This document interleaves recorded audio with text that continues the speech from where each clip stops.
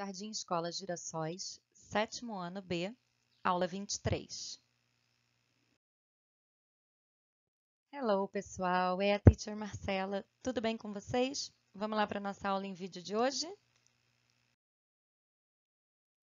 Então, hoje a gente vai falar um pouquinho de Simple Past of Irregular Verbs, ok? Verbos irregulares no passado. Então vamos lá, gente. Simple past of irregular verbs. Verbos irregulares. Como o próprio nome já diz, ele não tem uma conjugação regular, ou seja, os verbos regulares, por exemplo, no simple past, eles terminam em ed. E os irregulares, teacher, dependem do nosso esforço, do nosso aprendizado. A gente vai um por um aprendendo como conjuga. Até lá, vamos errar bastante? Vamos sim, mas tentando acertar sempre, tá bom? Então, aqui a gente tem alguns exemplos, tá? De verbos irregulares, de como ele é no, na sua infinitive form e como ele fica quando conjugado no simple past. Então, ali eu tenho fly, que o simple past é flew, o take, que o simple past é took. Então, um exemplo, I flew to New York in July. The flight took 10 hours. Ok? Conjugações irregulares. Só usando, lendo bastante, tentando e aí a gente aprende. O buy, o simple past é bought. Drive, simple past drove. Make, simple past made, eat, simple past ate, tá? Aqui estão os exemplos, são pouquíssimos verbos que a gente tem aqui de exemplo, na prática são muitos mais, mas a gente está acostumado com o inglês com seus verbos irregulares desde o verbo to be, não é mesmo? Aqui a gente tem o reading, que na verdade a gente vai usar também de base, né, para fazer os exercícios. Mas por que eu deixei ele, ele fora da parte dos exercícios? Porque eu queria falar com vocês um pouquinho sobre o can e o could, como a gente usa eles para solicitação, tá?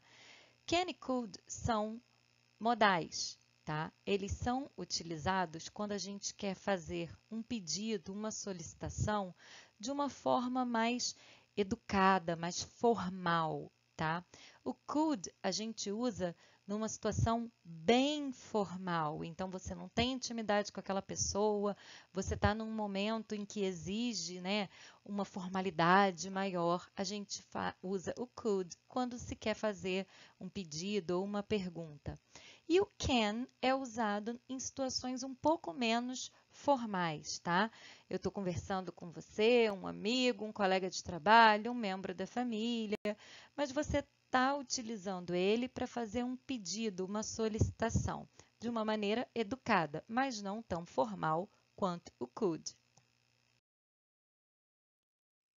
Agora sim, vamos lá para os exercícios do livro, páginas 12, 13, 15 e 17. São poucos exercícios, apesar de muitas páginas. Então, aqui, é, vamos ver como vocês estão, quão familiarizado vocês estão com o vocabulário de comidas em inglês.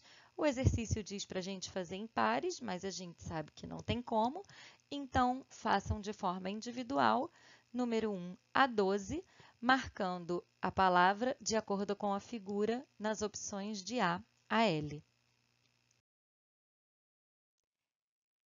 Aqui a gente tem, uh, no exercício número 2, uma pergunta. Alguma vez você já leu um menu em inglês? Então, é, depois da gente pensar um pouquinho nisso, e aí, já li? Era para a gente discutir, né, entre nós e os nossos amigos, o significado desses termos, appetizers, main dishes, drinks and desserts não poderemos discutir. Mas vamos lá vocês podem dar uma pesquisada. Prefiro que pensem um pouquinho melhor antes, porque eu acredito que a maioria dessas palavras vocês já conhecem. E depois disso, vamos voltar lá no número 1 da nossa atividade e vamos classificar aqui cada um deles dentro de uma categoria, tá bom? Por exemplo, hambúrguer. O que é um hambúrguer? Uma sobremesa? Uma bebida? Aí é com vocês. Vocês classifiquem para mim. Página 15, nosso Language Input de hoje, tá? Samantha's Summer Course. Então, nós temos esse título, uma, um, um breve texto né, sobre o curso de verão da Samantha, e aí vocês vão responder as perguntas abaixo.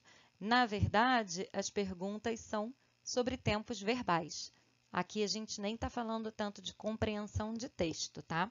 Estamos falando de passado. Vamos identificar os passados. São é, todos os verbos estão no passado, tem informação no presente. Esses verbos são regulares, irregulares? Respondam as perguntas. Página 17. No número 1, ele pede para que a gente complete as sentenças usando os verbos em parênteses na forma do simple past. Prestem atenção, verbos regulares têm uma conjugação, irregulares, vamos pensar, vamos ver se a gente já viu no texto, se a gente já viu em algum outro lugar, se a gente já conhecia. Conjugação certinha, nada de ed no final de todos os verbos, hein?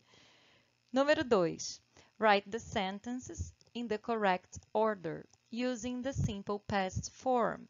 Então, vão, vocês vão escrever as sentenças aí, vamos fazer essa sentença fazer sentido, e os verbos vocês vão colocar no, no simple past. Como eu disse para vocês, não eram muitos exercícios, apesar de muitas páginas. Estudem, simple past dos verbos irregulares.